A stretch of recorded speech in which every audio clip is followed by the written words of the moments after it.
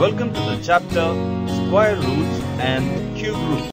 This slide makes you to understand how to find the square root of decimals using division method. Consider an example.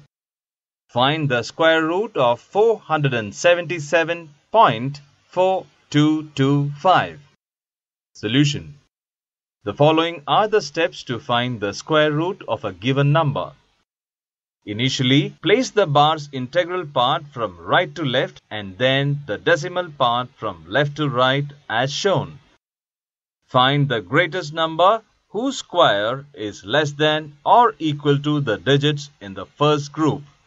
That is, 2 into 2 is equal to 4. Subtract the product of divisor and quotient from the first pair of digits. That is, 4 minus 4 which is equal to 0.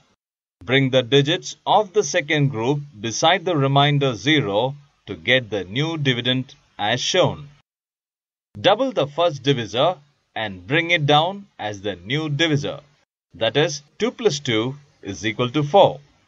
Guess the largest possible digit in the blank box in such a way that the product of the new divisor and this digit is equal to or less than the new dividend. That is 41 into 1 is equal to 41.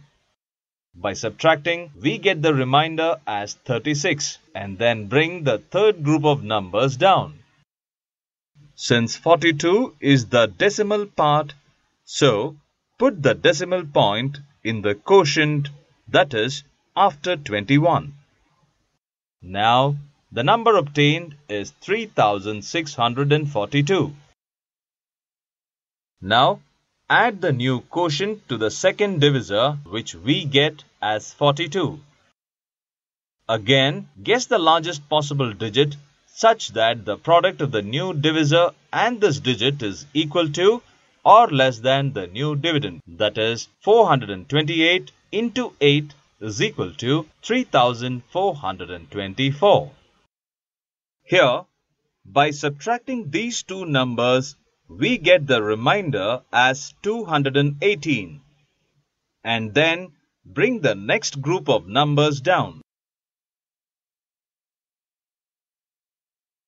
Again, adding the new quotient to the third divisor, we get as 436. Again, guess the largest possible digit such that the product of the new divisor and this digit is equal to or less than the new dividend.